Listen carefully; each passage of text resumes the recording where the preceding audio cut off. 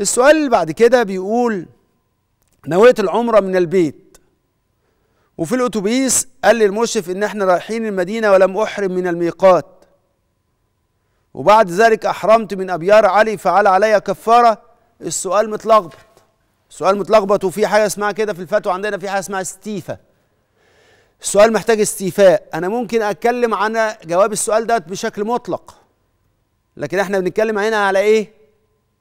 على السؤال اللي جاية من حضرتك. نويت العمرة من البيت وفي الأتوبيس. نويت العمرة من البيت. أنت مسافر من مصر؟ طب مسافر من مصر. خلاص وأنت نويت العمرة. فإيه اللي حاصل؟ فنويت العمرة من البيت. ما أنت نويت من البيت إن أنت تعتمر. خلاص فالنية خلاص انعقد. وخاصة لو كانت امرأة هي مش محتاجة لا تخلع ثياب لا تخلع ثيابها ولا حاجة هي خلاص هي أحرمت بثيابها ده لبيك اللهم بعمرة. فهي لو بتقول نويت العمرة من البيت في وفي الأتوبيس قال المشرف إن إحنا رايحين المدينة. ولم أحرم من الميقات يعني إيه لم أحرم من الميقات؟ يعني هي وفي الطيارة ما قالتش إيه؟ لبيك اللهم بعمرة. هي قالت إيه؟ يعني هي نوت في نفسها. إن هي معتمرة لأن هي بتقول نويت من العمرة من البيت فخلاص كده خلاص. طب إذا هي لما لبتش لكن هي ناوية العمرة خلاص بقى كده ما خلاص بقت كده معتمرة.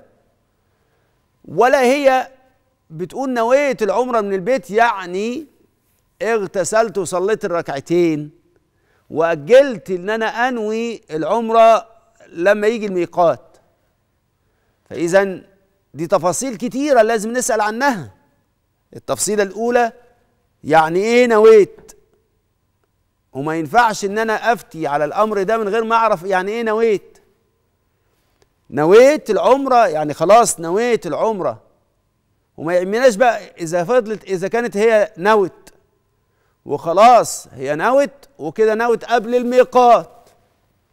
فإذا كنت نويت من البيت وسواء رحت على المدينة وبعد المدينة رحت على على مكة وانت ما عملتيش أي مخالفة من مخالفات الإحرام عمرتك صحيح. حتى لو نويتيش من ميقات ما انت نويتي من البيت خلاص. وأغلب الناس بينووا من البيوت. فنوت إيه؟ لبيك اللهم بعمرة واغتسلت بالمناسبة الاغتسال. وصلاة الركعتين دول من سنن الإحرام مش من مش من فروض الإحرام. ونوت خلاص. إن هي كده خلاص تلبست بعمرة. فبعد ما سافرت ركبت الطيارة وركبت الباص قال لهم خلاص إحنا مش هنروح دلوقتي على مين؟ على مكة ده إحنا هنروح على مين؟ على المدينة. راحوا سلموا على حضرة النبي وهي ما زالت محرمة. هو أنا لازم أحرم من الميقات؟ لا أنا ممكن أحرم قبل الميقات. فأنت لو نويت الإحرام ونويتي قبل من البيت خلاص أنت إحرامك صحيح. وحتى لو رحتوا المدينة الأول ثم رحتوا بعد كده على مكة لا يضر. لا يضر إن أنت إيه رحتي المدينة وبعدين رحتي على مكة وبعد كده إيه اللي حاصل؟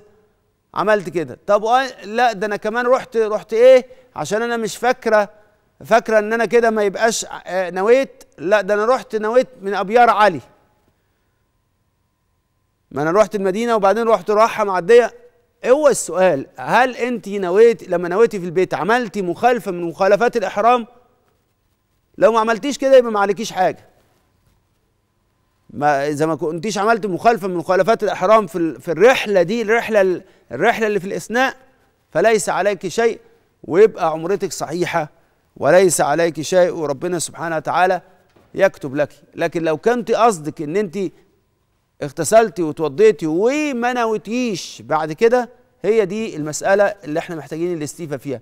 لكن إذا كنت نويتي بمعنى لبيتي وخلاص ونويتي إن أنت من العمرة من البيت فأنت مش محتاجة تجددي ال ال ال ال النية عند الميقات. فخلاص أنت كده متلبسة بالعمرة فإيه اللي حاصل؟ وكونك رحت المدينة وبعدين رحتي بعد كده آه عشان تأدي العمرة فليس عليك كفارة ما دمت لم تقعي في محظور من من محظورات الإحرام.